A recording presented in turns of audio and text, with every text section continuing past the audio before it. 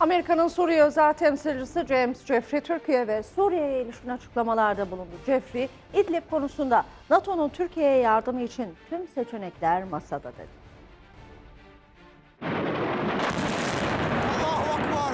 Türkiye ve Rusya ilişkileri İdlib'de Esad rejiminin saldırıları sonucunda ardı ardına gelen şehit haberleriyle gerilmişti. Ankara ve Moskova yönetimleri ilişkileri normalleştirmek adına 5 Mart'ta Cumhurbaşkanı Erdoğan ve Rusya lideri Putin'in bir araya geleceği bir zirve konusunda anlaşmıştı. Söz konusu zirveden İdlib'de ateşkes kararı çıkarken varılan mutabakata ilişkin Amerika'nın Suriye özel temsilcisi James Jeffrey'den kritik açıklamalar geldi. uh, uh. Rusya hükümetine ve dolayısıyla ateşkes kararına inanmadığını belirten Jeffrey şu ifadeleri kullandı.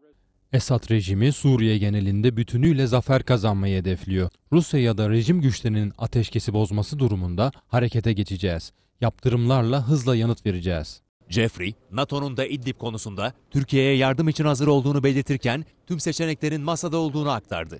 Öte yandan Amerika Birleşik Devletleri Ankara Büyükelçisi David Satterfield da Türkiye-Amerika ilişkilerine yönelik açıklamalarda bulundu. Satterfield, iki ülke ilişkilerinin güvenli bir şekilde yürütülebilmesi için S-400 konusunda çözüm bulunması gerektiğini öne sürdü.